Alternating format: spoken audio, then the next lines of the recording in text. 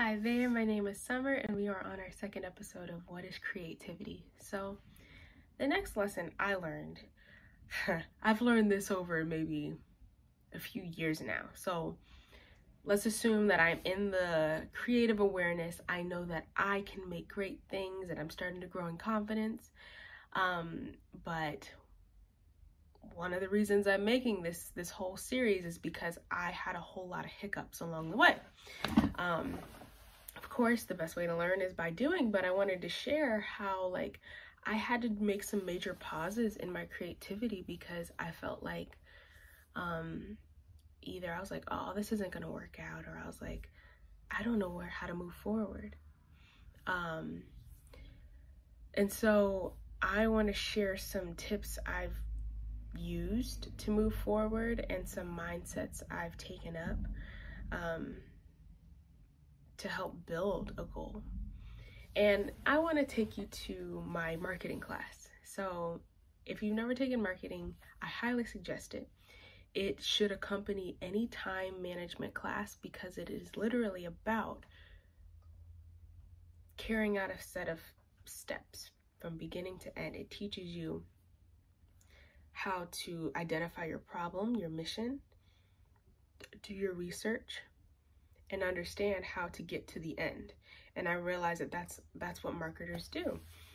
Um, and then I realized, in the way my teacher explained it, he's a great teacher, but he was just like, this doesn't just have to apply to business. This could apply to anything. Say you want to apply for a loan. Say you want to apply to a new school or to a job. Everything is marketing and really it's about identifying who who is your target audience like so if i'm auditioning for or if i'm trying out no if I'm interviewing for a job, you want to understand who's going to be interviewing you. Who do you want to want you? Now, it's not necessarily about like tricking them into getting who you are, but it's it's about making yourself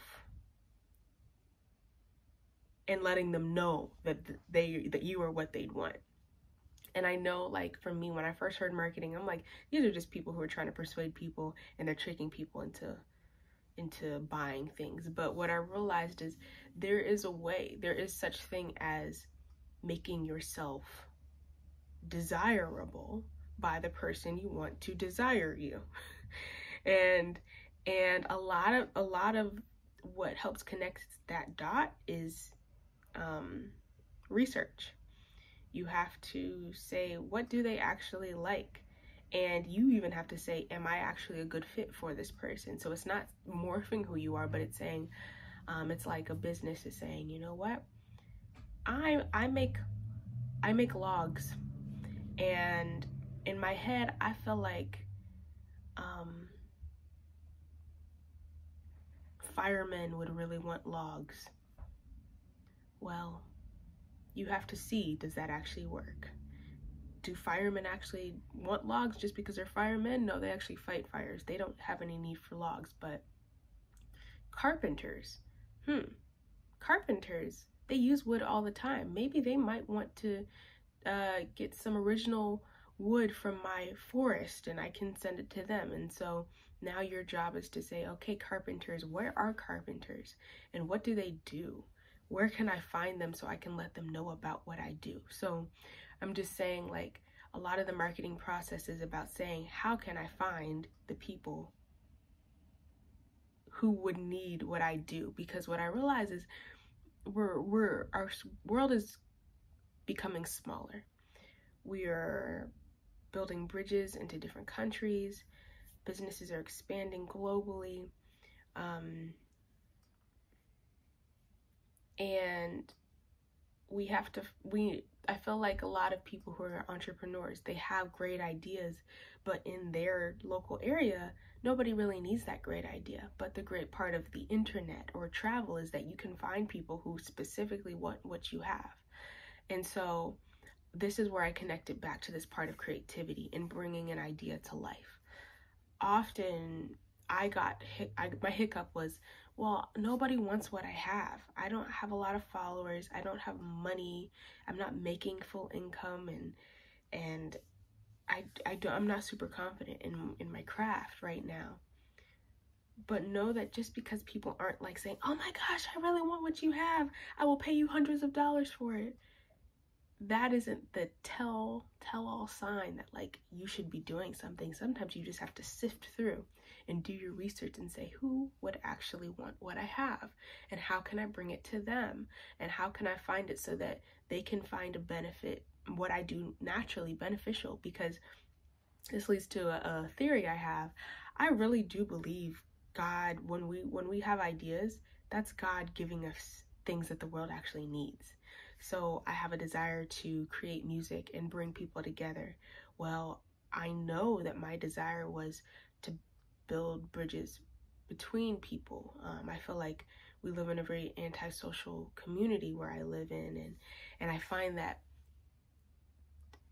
it's hurting us now. It's like and what I'm realizing is people are great, but they're scared to talk and they're scared to interact. And I said, Ooh, I would love to use music to help bring people together and not be scared and not be stuck to themselves because the pattern and that cycle continues is the more you isolate yourself, the less you have help and the things you need from other people. And so I know that when I create these spaces, people will meet and they'll help connect gaps. They'll help um, each other and they'll help create their own new idea. So that was my own personal idea as a musician. But I definitely got stuck. I was like, oh my gosh, how can I actually make concerts? At the time, I didn't know anybody. Um, but what I had to do was I had to take the necessary steps I knew I needed to take. One of those first steps was get to know my community. I did that through school, I did that through church, I did that through babysitting. And now, as a young adult, um, after college, like I came back to my hometown, I was able to like actually get to know people. And now I was like, ooh, I really want to, if I'm making music, I want to have a live music. Well, I joined some clubs. Um, I got to know some musicians at my church. And now I actually have people who I could say, hey, could you drum for my concert? Could you do guitar? Could you be a background singer? So like I'm realizing, oh, it's actually happening. Is does any of this cost money? No, but it does cost putting yourself out there and saying hello. And so once again, this is why I'm such a proponent for networking and having gatherings because this is where stuff actually happens. And what I find is we're in a very prosperous country, but the way we interact and the way we think about ourselves and our negativity is very anti prosperous. And so I really want to switch gears so that we move in healthy uh, directions and mindsets. Um, and just to continue how I've like grown that idea is so I got to know my community, got to know musicians, I got to know some business owners. So now I have like at least three different places where I know I could ask owners like, hey, if I wanted to do a concert here, could I? And they're like, and I know that they would be willing, they'd be able to consider it. So another thing I did is I learned how to produce on my own. And what I started doing was I started making demos of my songs. Um, and I knew that though these aren't like, it's not likely that I'm going to give a guitar player this song and I'll say, okay, now play it. Um, but I do have like a blueprint to work with. So I'm making these great songs and then I'm like, okay, now I'm going to transfer it into sheet music or into chord charts, guitar chord charts, you know? Like I was like, now I can actually put it into sheet music and now I can help that can help me distribute the music to these musicians. So as I talk about this, this is actually very healthy for me because I too can get very discouraged. Um, but if I look back on all all these steps I took, like I still like well, I'll give you a hint. I'll give you a side note is I got in contact with one local musician and she was like, "Would you want to put on a concert together?" So that that idea is actually starting to happen. It's a it'll be a little baby concert, but I'll have people and I'll have a venue and I'll have somebody who I can lean on who can help me. So like that dream is actually coming to life this summer within the next couple months. So I, I, I hope to just be an example of somebody who's building things from scratch, but into something greater and is holding tight to what that vision was, holding tight to what that imagination was.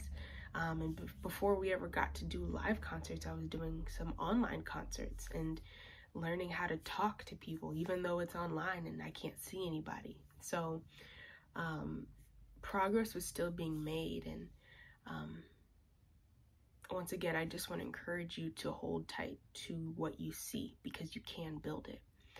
Um, and what I learned from this marketing class is if I could do it all over again, I would kind of make a sturdier chain, a sturdier plan, you know, and say, okay, I'm going to do my research and my next goal is to do this and have this as the outcome.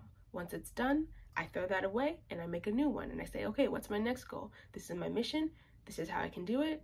Um, this is my my blueprint this is how I execute it. Once it's done, we throw it away, go to the next thing. So, what I would do now is just have a better method and confidence in knowing that these things can be accomplished.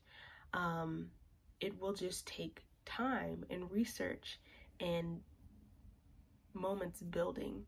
And I think when we do that as creators, we help we help ourselves not lose hope because really we are we are playing with time we have such a privilege to manipulate time as humans because what I did was I had a goal that started seven years ago, but seven years later, I'm actually building it. But I held on to that idea the whole time. Now, as as all those seven years passed, I definitely forgot what my goal was. But if I always had a book or some type of chart I always went back to, I wouldn't necessarily be as um, doubtful of myself or I wouldn't waver so much. So that's just a tip that I think could really help you is to have a plan um, as you're executing your dream. Um, to hold tight to what your your vision is and to also reward yourself um, man oh man oh man oh man oh man i am lacking in doing this and i could do better at this and I've just kind of started to see the light at the end of the tunnel because I got lost in the um, in the the whirlwind of not having many other people who knew my goal, not having a lot of people who really supported my goal. Um, and prior, everything I did, I always was connected to other people. I always had other people to root, me on or like push me forward but this was my own project. And um, the thing is is i got into a habit of once i finished a goal i didn't even reflect on what i did and i threw it i threw away the i, I just moved on to the next thing. I didn't um,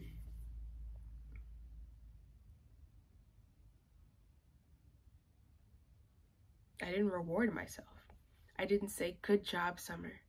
I know that you have a small voice saying in your head saying you can't. I know that the odds are against you. I know that you've never seen anybody else do this and you don't actually have a blueprint how to carry this out, but you're doing it on your own. Good job, Summer. And that's those are a few sets of words that I could say to myself and I should say to myself every day because li- this is where life can get very dark and this is where life can get very confusing because you don't have anybody telling you you're going in the right direction and you don't have anybody cheering you on. But I just encourage you as you're creating your your creative space, as you're carrying out your goals, please reward yourself because there's still that little 3-year-old, that 5-year-old inside of you who loves getting ice cream, who loves playing in a playground, who recognizes the reward of a smile, of a hug, of social interaction. And um, my creative space started to die because I wasn't connected to anybody else.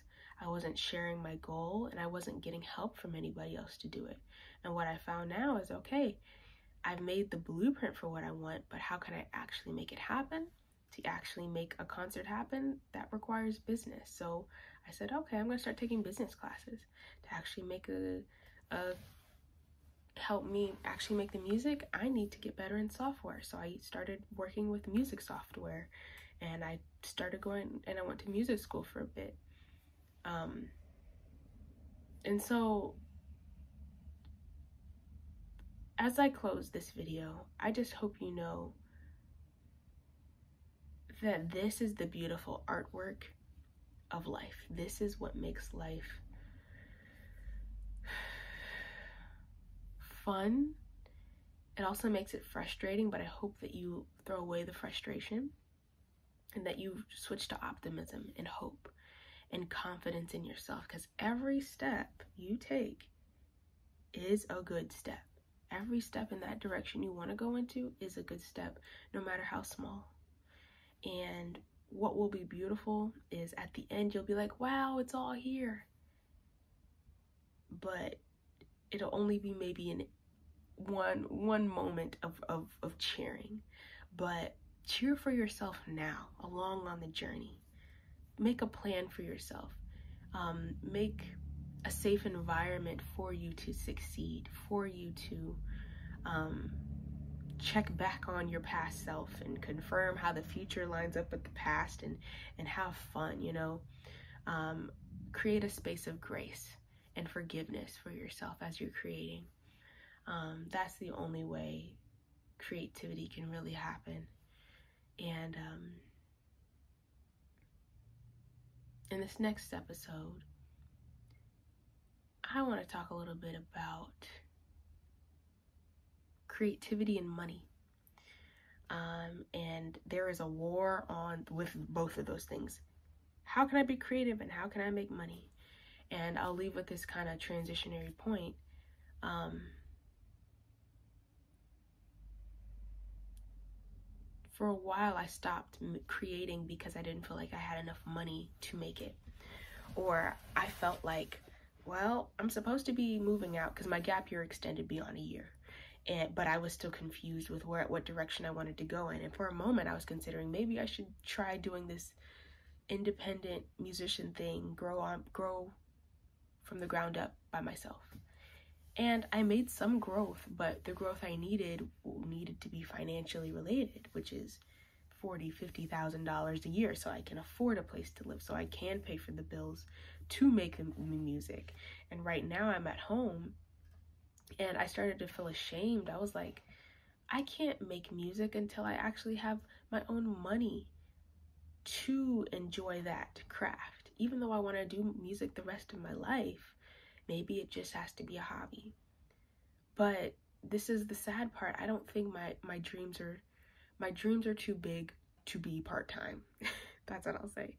My dreams are too big and I can tell that I want to put a lot of work in it and it can be hard finding out how to make um, your dream manifest in our economy. Because hey if you want to hire people to work for you well you got to have money to pay them.